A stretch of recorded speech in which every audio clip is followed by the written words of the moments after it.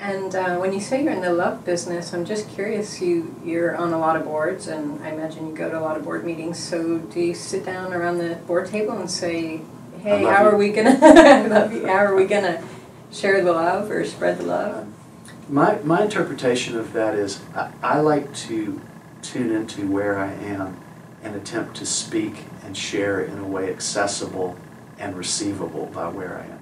I'm more interested in how to actually reach everybody Mm-hmm. than to prove, you know, Mhm. make them think my way or something like that. Mhm. So back that back to the sacred and the profane. Mhm. If you go into the profane world and you simply speak the pure truth, Mm-hmm. well, that's one path, and it, and it does have, and it's a, a good one for those who can, who can sustain it. Uh, I think our need is urgent, and I want to attract people. Mm-hmm. So here would be an example in the boardroom. There are some boards that I'm on that do reflective practice to begin the board meeting. Mm-hmm. They have a mindfulness bell. Uh, those are rare, but they exist, and I get to participate in. Maybe they sing uh, to in order to be out of the mind and into in something shared and breathing together and that kind of thing. However, most of the business boards, um, I never consider that I'm the smartest business person or the smartest finance person in the room, but I often am valuable where the emotional, spiritual, psychological hits the pragmatic.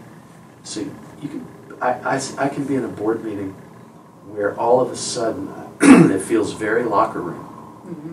and it's kind of a bunch of egos flaring up Mhm.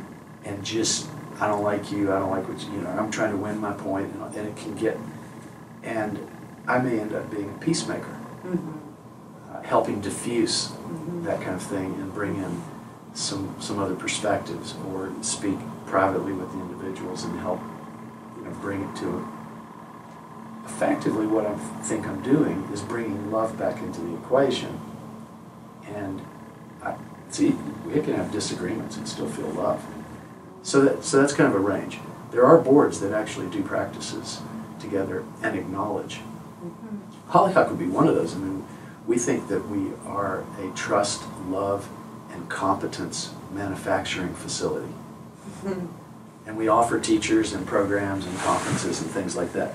But really, what we're doing is adding to the possibility and, and offering experiential, unspoken